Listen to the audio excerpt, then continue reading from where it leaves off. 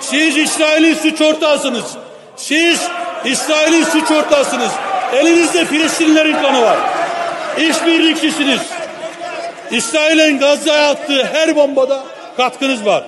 Tarihin azabından kurtulsanız Allah'ın gazabından kurtulamayacaksınız. Hepinizi saygıyla selamlıyorum.